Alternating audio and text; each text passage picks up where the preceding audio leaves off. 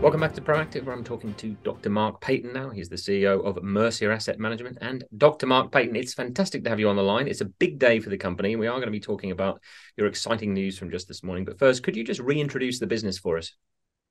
Yeah, no, and thank you for the kind invite, actually. Mercia set up its sort of journey a, a number of years ago, actually, before we came even into the public markets. And, and the remit was, and we're often referred to as an impact investor. And our, our remit was actually to deploy capital on a national basis um, from regional from regional presence actually. So you, you can we're, we're based from got eleven offices from Bristol through London all the way up to Newcastle, and we manage debt private equity, um, as well as venture. And most of today we'll, we'll focus on venture, which is about half of the capital that we deploy. And we're now one of the most active uh, national investors now, and doing something like ten to fifteen deals a month. So the business um, actually works on a sort of interplay between different pools of capital. And I think what's really important and perhaps relevant to some of the listeners on this is that we use three discrete pools of capital, which is plays very neatly to this sort of impact investment uh, analogy that's uh, applied to us. Retail, so we manage EIS and uh, VCT capital. Now, obviously, that's tax efficient uh, capital introduced by the government to address what they would see as market failures, particularly at the early stage end of that. But of course, we deploy that capital with a strong commercial focus. We also manage institutional capital, very often regional pension funds, and uh, investors, uh, individuals, retail investors in those uh, funds are, of course, very often expecting uh, regionality to the capital that's been deployed in that regard. So we we are again tasked with commercial returns, but investing that on a regional basis. And the other really important form of capital that we manage is public sector. Um, an example of that is British Business Bank. And again, they're there to address um, market failures in that regard, the regional de- delivery of venture and debt. And you pull those together and interplay with them and our strong balance sheet, we often invest through our funds initially and then on a, on occasions in our balance sheet investments. And we've had a series of um, really good returns actually over the years, and uh, likes of Oxgene, which had a, a funds EIS actually invested in it. Uh, Faradion, which had regional BBB funds invested in it before the balance sheet came in, and today's um, news that you mentioned, uh, nDreams, which had uh, EIS capital in it, and then uh, our balance sheet invested. So it's a, it's a real privilege actually to be trusted, really. And we often refer to these pools of capital, the uh, founders, the management teams, we often refer to these as enduring partnerships because it's not about a one off transaction. We are always raising money from those pools of capital. We often back individuals on a serial basis. And so that sort of enduring partnership piece is quite important to us actually as we move forwards. And and and you have to forgive me, I often talk about us, but Mercia is about 140 people now. So we we are spread across the country with some fabulous talent within the business, and part of our role is to spot stuff that other people miss actually. And it'd be great to talk about nDreams. That's a great example of that. Well, let's do that now then, shall we? So we've got the context. nDreams is this morning's big news. The market has been very pleased with the news. So tell us firstly what the news is, Mark. I think. Yeah, so so nDreams, um, and actually before answering that, I'll step backwards to, to talk about nDreams a little bit. Now, Patrick uh, had a very small team, handful of people back in 2013 14, working on what they called uh, Virtual Worlds, uh, which was Sony. It was a, a, a small game. And Patrick uh, was looking and failing to raise money through a new concept uh, that people were very cynical, which was, of course, virtual reality.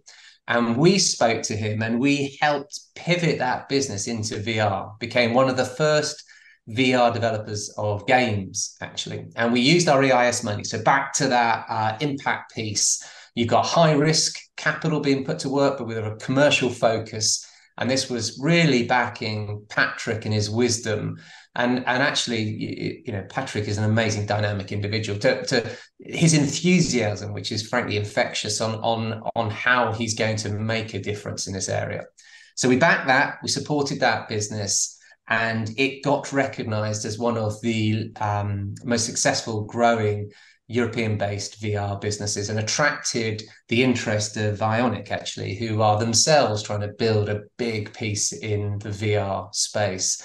And attracted them as both an uh, an investor into the business uh, a little while ago, but also as an uh, a potential exit. It was indeed an exit for our EIS investors and for other early stage investors, which is excellent because I think the the UK uh, economy, particularly in venture, is absolutely dependent on frankly, the bravery of the early stage investors coming in, which is often offset by the fact that it can be five, eight, 10, 20 years before they get a chance to realize a return on that. So this gave us an opportunity to provide a realization for our EIS investors at a relatively early stage and a very strong return um, in, in that regard, something like uh, just under eight times their money, actually.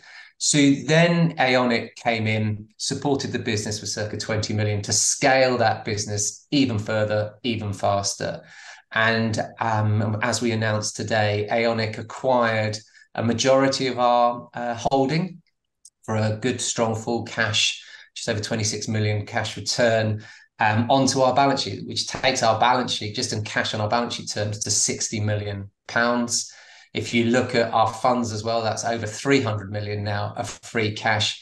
And I think importantly, because we really strongly believe in what Aonic are trying to do, is that we still have a very modest and small stake in Aonic. So we didn't sell our entire holding out. We're still there rolling the dice, if you like, for the next stage of its growth. One of the recurring themes in our interviews at the moment, Mark, is that the there are fantastic opportunities out there for those people who are well armed financially. So are you uh, out there in the marketplace keeping a close mm. eye on things?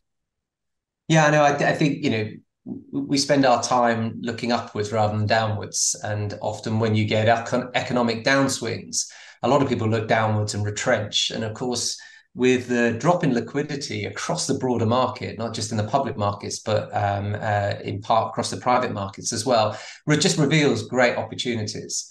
We're, we're doing, I think, as I said, 10 to 15 deals a month at the moment. We're seeing growing opportunities to deploy capital. We're seeing growing opportunities to raise more capital. We are constantly in fundraising mode. So yeah, I think this is um, this is no question. This is a tough environment, especially for a young um, uh, company. But actually, we see ourselves as a supportive investor, and it's not about the returns next week that we're looking when we're making an investment. We're often making an investment and got our eye on the returns in the next three, five, seven years. So it's a, we're a long-term supportive investor. And I think something that gets missed often in this is the serial entrepreneurs. We have backed many businesses um, where we've had serial entrepreneurs that we've been supporting. And we must always remember these individuals, um, these founders, these management uh, teams are working, they literally are working 24 7. And it's a real pleasing achievement. Um, back to nDreams, when not only do investors make money, but actually the founders realize capital for their hard work and with Aonic carry on with the journey. I mean, Patrick is on a real mission here. So he's had rightly the recognition financially for that, but is actually now ready to take it to the next level. We'll leave it there, Mark. Thank you very much indeed for your time today. It's been a pleasure, and hopefully we'll catch you again very soon here on Proactive. Always a pleasure. Thank you very much.